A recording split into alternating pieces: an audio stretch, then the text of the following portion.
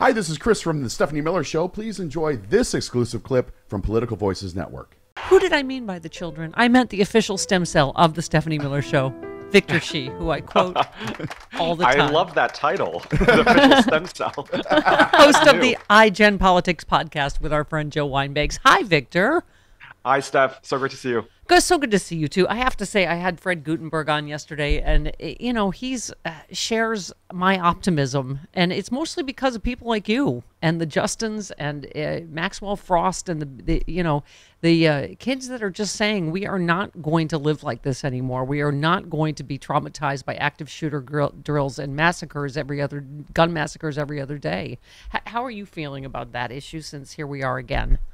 Well, I totally agree with you. I, I wish it were just me or, or, Maxwell Frost or the Justins, but the reality is that it's a nationwide movement of young people who are making their voices heard, who are demanding action. I mean, like you said, it's like every single day there's a new mass shooting. And for this generation that had to grow up with um, mass shooter drills, it's just so tiring. And then to see our elected officials after every mass shooting come out and say they are giving us our, their thoughts and prayers but do nothing to actually solve the issue. It's just so extremely frustrating. I think that's why you're seeing so many young people across the country not just register to vote but also actually vote. And you saw that in wisconsin you saw that in 2022 and i think with 2024 approaching a lot of people are just so kind of fed up with this republican party that is doing nothing. And you're seeing people on the streets, but across the nation, you're seeing young people just kind of kind of sick and tired of what's happening right now. And it's just for anyone who cares about their safety, their well-being, their livelihoods, the Republican Party is not doing anything to address that with uh, gun reform, and it's just shameful. And um, I think you're going to see that response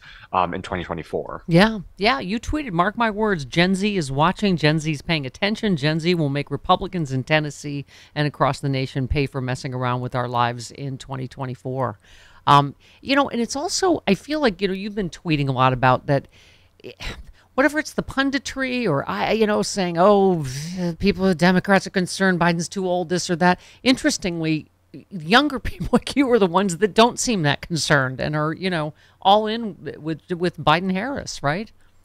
So I, I, think there's definitely it, it's such an interesting kind of issue to talk about because I think for some young people, I think that the age and, and kind of how old he is is kind of does turn some people off. But at the end of the day, if you ask people what they actually care about and, and kind of you know who else they would vote for, they can't tell you. So the alternative, just like President Biden often says, you know, don't compare me to the Almighty, compare me to the alternative. And young people realize that I think more than most generations, which is okay, he might be old, he might be 80 years old, but at the end of the day, he has actually delivered on the issues that we care about. You think of the Inflation Reduction Act with climate change, the um, Bipartisan Safer Communities Act actually taking a step forward in the right direction of gun reform, eliminating student loan debt, um, expunging people uh, on the federal level with marijuana um, convictions. I mean, those are all things that young people see clearly. And so, while age might be a factor, the the bigger factor is all of the accomplishments that President Biden has done for our lives, and also the threat that Donald Trump poses. And so, I think you know, for for all of the media talking about the age, I just implore them just look at the accomplishments look at what this president has done. And i think young people can feel that directly in our lives because we see kind of all the issues and we see president biden actually engaging with us and listening to us and delivering on the issues that we care about. On behalf of old people everywhere i'm sorry we failed you. Yeah. Thank you for yes. saving sorry. us. Sorry Sorry. It's okay.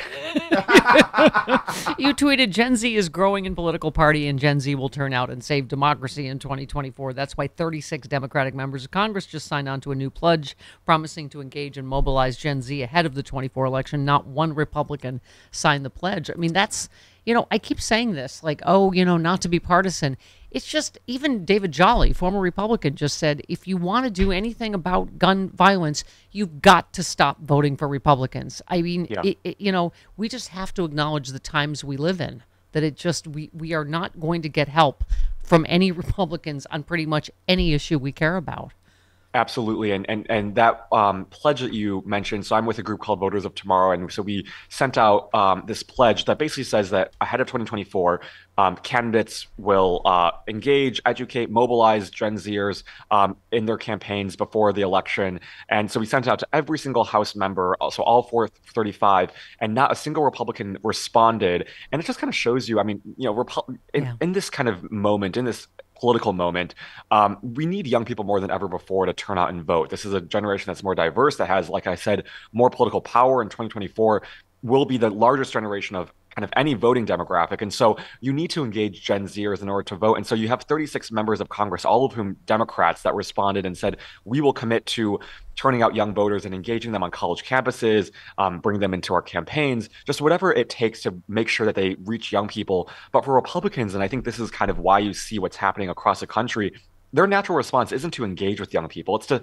silence young people. It's to do what they did in Tennessee, to uh, suppress the Justins, to ban college drop boxes yeah. like they're trying to do in Texas, to uh, make it harder for young people to vote by requiring more IDs. I mean, this is the natural response to this kind of changing demographic. And I think it's really kind of clear and telling from just the strategy from both sides and, and what they're trying to do to ex- either expand or suppress our vote. And I think that says a lot about the difference between the two parties. And at the end yeah. of the day, I think that's telling for young people when they go to the ballot box, they think of, okay, who's actually trying to reach me? Who's actually trying to engage with my vote? And it's overwhelmingly the Democratic Party now. Mm-hmm. I am a member of uh, a group called Old Hack Voters of yesterday who have everything up and I thank you for your work. Um, you, but you know, you've also raised a good point about uh, gerrymandering. You just said worth remembering. Ted Cruz won his Senate race by only two point six percent. Yeah. Um, and that he was that he before that's before he fled the state during an emergency. He before he voted to mm-hmm. overturn mm-hmm. the results of the 2020 election. Don't count uh, Colin Allred out. Right. Colin Allred can flip Texas to blue, and I saw his ad. I have to agree with yes. you. Yes. I mean, Colin Allred, I, am so excited for that race. I can't even begin to to to say. I mean, he's such a great candidate as someone who is a former football player, yep. former civil rights lawyer. I mean, this is someone who really knows his stuff, and he's not afraid to hold back any punches when it comes to Ted Cruz. So I'm excited for that. Um, but I think when we talk about Texas, and so many people get this wrong, and my friend Olivia Julianna is down in Texas, and she always says this, but Texas isn't a red state. It's just a really gerrymandered yeah. purple state. Yeah. Yes. You have a lot of kind of the areas of Texas. I mean, you think of Dallas, you think of Austin, you think of all these blue areas. I mean, the the numbers I think are on our side, but what Texas has done is they've so gerrymandered the districts where they make it so hard to vote. And just the other day, the Senate passed this bill that would allow the Secretary of State to basically invalidate uh-huh. the election results of the biggest yeah. Democratic county, Harris County. And so I mean, we're Houston. seeing what's happening in real time. And so yeah. uh, when we talk about Texas, we can't say that it's just a red state because that just allows Republicans to um, you know, take advantage of it, and we basically can them a victory. But we have to fight for Texas. We have to turn out as many voters as we can. Go to you know the, the urban areas but also go to the more rural and suburban areas really do what beto o'rourke did i think really well in, in 2022 which is just go to as many places as you can reach people meet people where they are and i think colin Allred is kind of has the perfect message um, heading into 2024 and with ted cruz now i mean since 2018 i just hope that as many texans as possible have woken up to the reality that ted cruz first just doesn't everyone care about hates but also him. doesn't care about his constituents. I mean, right. leaving the, the, state during this national emergency. I mean, what what was that? I mean, it's so. Yeah. I, I hope that um, enough Texans r- wake up to that. But I, I, I do think um, it, you know it's going to be hard. But I, I, think Colin Allred is the yeah. perfect person for the for the position. I can't think of anyone better. I don't mean to oversimplify, but you know, football, Texas. Just yes. I've seen Friday Night exactly. Lights. I mean, yeah, okay. He's also exactly. fantastic on other uh, in other ways. But um, but you know, here's the thing I'm always concerned about, Victor, and it sounds like you are too. Is the mainstream media? You just tweeted mm-hmm. WTF? CNN just announced yeah. it will host Donald Trump for a live town hall in New Hampshire. CNN is giving Donald Trump a free and national platform to spew lies. They've learned absolutely nothing. They're exactly why our media is failing us and our democracy. I mean, the minute we normalize this, like mm-hmm. just another uh, race, I, I, I, when he is, I don't even know where we're going to be legally with him. I mean, obviously, the, the yeah. seditious conspiracy uh, convictions just came down today. That yes. leads directly to Donald Trump. I mean, I, I feel like I'm living in a I'm taking crazy pills some days when I'm like, I this doesn't happen anywhere else where someone leads a coup and tries to overthrow the government and gets to run again, right?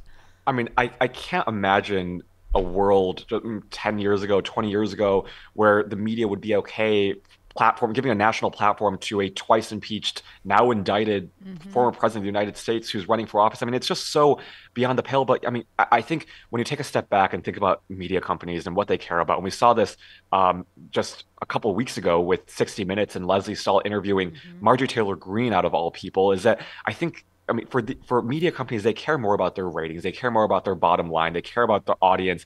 They want to do these this both sidesism, you know, thing where they try to give both sides a platform. But this is kind of exactly like I said, the problem with the media now. I mean, all they care about is their bottom line. All they care about is money and the, and the audience that they will generate. But for so many people, they're I think just so sick of seeing this and for the media to nationalize and give people like Donald Trump and Marjorie Taylor Greene a national platform without any real time fact checking is, I think, really dangerous. And um, I'm not saying, you know, you don't play clips of Donald Trump's rallies on, um, you know, during the day. But I, I, think you have to do it with fact checking. You have to do it with the proper kind of yeah. framing, and you can't normalize what they're trying to do because once you do, you're basically giving permission for that side to spew Plus lies almost, and and yeah. do anti-democracy stuff. And so for the media, I think they have to take a hard look at what actually matters. If they care about democracy, if they care about the truth and facts, platforming Donald Trump and Marjorie Taylor Greene and these extreme Republicans makes no sense, yeah. and it's just such a crazy um, business model. It just normalizes, like like we said before, lies and conspiracy theories, and and people who are just against the very idea of democracy. And to your point, Victor, it's almost impossible to fact check him in real time because yeah. he lies yeah. at such a velocity and pace, yes. and almost everything he says is a lie. That it, it's you know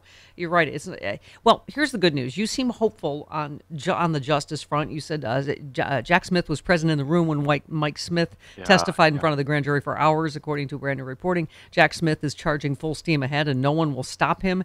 You said just imagine Jack Smith sitting in the courtroom in which you testify. Imagine his yeah. eyes intently focused on every word that comes out of your mouth and using it to build a case against the former president. Jack Smith knows exactly what he's doing and wants, and now we wait. Um, I, I am hopeful there will be some some more justice, let's just say. But you're right to get in your mind that the former president is presently on trial for rape while we wait on, you know, his stealing of classified documents and obstruction of justice and on and on and on is kind of astounding, isn't it? Yeah. I, I, I am hopeful, and it seems like Jack Smith. I mean, remember this was someone who prosecuted war war criminals. Uh, he was a war crimes prosecutor. I mean, he he he has dealt with people more than Trump, and so uh, more dangerous than Trump. So I, I think for Jack Smith, this is someone who time and time again we see Mike Pence trying to fight Jack Smith. We see Donald Trump trying to fight Jack Smith, but at the end of the day, he got what he wanted, which is he got to hear from Mike Pence. He was in the room, and I just like with that tweet, I just can't imagine being in the same room as Jack Smith and his eyes just like laser focused on every word that I'm saying. It's actually sort of terrifying to me, but um, I, I think that was just such a remarkable thing to know that Jack Smith was Jack Smith was in the room. And like you said, I mean, there's so many other investigations into Trump. I mean, you have Letitia James in New York, you have E. Jean Carroll, you have Georgia, you have the Mar-a-Lago case, January 6th. I mean, on all these fronts, it seems like you know Donald Trump is they're they're reaching the tip of the the iceberg in terms of yeah. um, holding Trump accountable, and I, I just hope that more justice is going to come. It, I'm not a lawyer, but it seems like every kind of legal expert I've talked to seems like there will be at least uh, a couple more indictments and charges against the former president, and so. Yeah. Um, you know, it's like that's all good news, but at the end of the day, I really hope that the Republican Party rec- wakes up to this and, and realizes that this is our nominee. This is someone who has broken the law. This is someone who was indicted not just once but multiple times, yeah. and um, we have to be better than this as a party. And and that's my biggest hope. But I'm fearful that this Republican Party, kind of what Trump has unleashed, Trumpism, will go far beyond what happens to Trump. Are the official stem cell, as you know, the Stephanie yeah. Miller Show, which is a joke. That's gonna be my new title. No, because you're in college, so you're uh, what seven? I, I don't really. Grad- I, did, I didn't graduate. I didn't have kids, so I don't know. Did How you? old did are you graduate? No, not yet. I graduating next next June. Okay, got it. From UCLA, yes. my my you know my sworn enemy as uh-huh. a USC grad. oh yet, no, the Bruins are great. That's where my mama went. oh oh, fight on for old SC. Bruins, Bruins. All right, so who's up for a great bottle of wine? Well, according to a recent survey, about 62% of the country is ready to raise a glass. But how do we decide what it is that defines a great wine when all of our palates are so uniquely different? Imagine a fun and interactive process that actually takes your preference into consideration, allowing you to create, design, and even package a wine that's right for you, your event, or clientele. Welcome to Blentique Wine Company, and welcome to your wine. Blentique invites you to participate in a revolutionary new process whereby the everyday consumer can create and design a personalized wine blend from the comfort of home. Whether blending is an individual, date night activity, wedding party, or restaurant tour, Our one of a kind system helps put the power of creativity back into the only discerning palate in the room that matters yours. Welcome to Blentique Wine Company, and welcome to your wine.